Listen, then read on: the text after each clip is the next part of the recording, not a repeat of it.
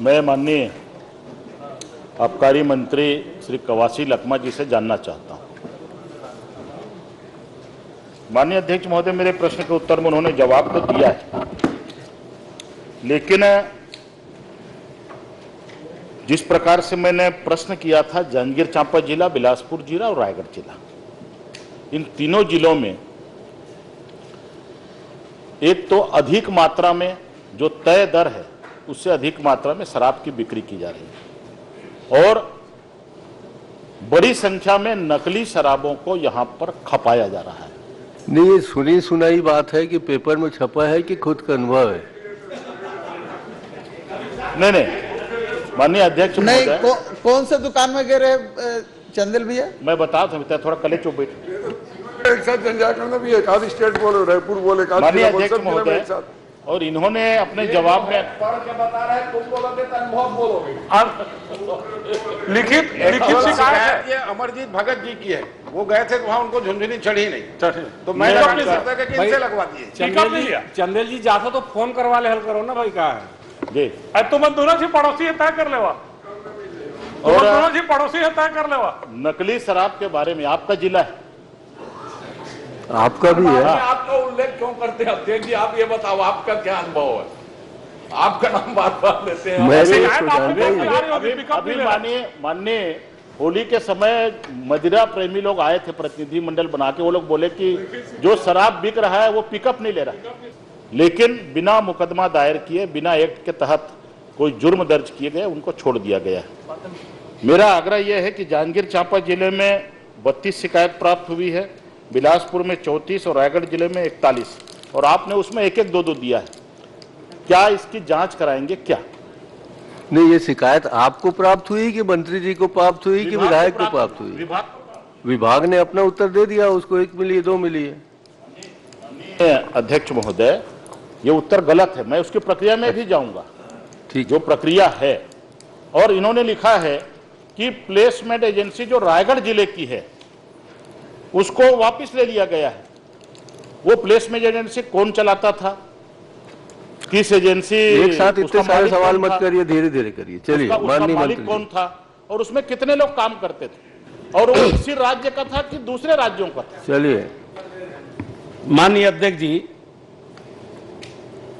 माननीय वरिष्ठ सदस्य ने पूछा था कि ए, कितना दुकान है? उसको हम लोग लिख के दिए हैं।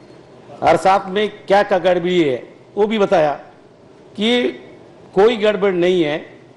हम लोग जांजगीर सिपा जिला में शिकायत मिला था पानी मिलाने का।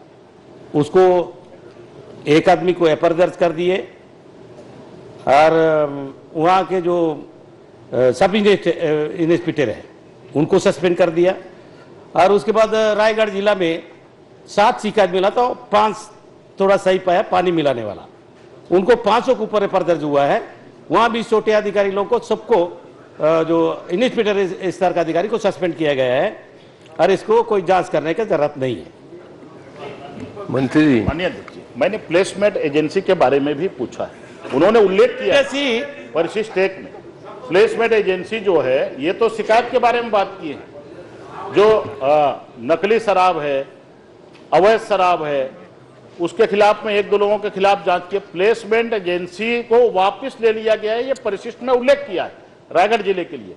तो वो प्लेसमेंट एजेंसी इसी राज्य की थी, उसका मालिक कौन था, उसमें कितने लोग काम करते थे, और उसको वापस क्यों लिया गया है, कारण क्या है, क्या उसका पैसा बकाया है अभी भी, शासन को देने के लिए, ये मैं जानना चाहता हूँ। लगातार बाहर के लोग, झारखंड, उड़ीसा, आंध्र प्रदेश, महाराष्ट्र यहाँ का भी शराब खप रहा है और वहाँ के लोग आकर के यहाँ पर दुकानों को संचालित कर रहे हैं। जबकि उसमें स्थानीय लोगों को रोज़गार देने की बात मैं ये जानना चाह रहा था। मंत्री जी। नहीं है। वो लोकल थे उसको पानी मिला में थोड़ा शामिल हुआ इसलिए उनको ऊपर उनके अधिकारी के ऊपर कार्रवाई हुआ और उनको हटा दिया गया। और और के अधिकारी को माननीय अध्यक्ष महोदय। माननीय विधायक माननीय अध्यक्ष जी। आपको पता है माननीय अध्यक्ष महोदय। आपको पता है कि हसदेव नदी चांपा में बहती है। चांपा जांजगीर में। और केलो नदी रायगढ़ में बहती है। वहाँ से है? और ऊपर बिलासपुर में। पानी भी चाहते हो पानी गिरे भी चाहते हो उसमें पानी ना मिला ऐसे कैसे?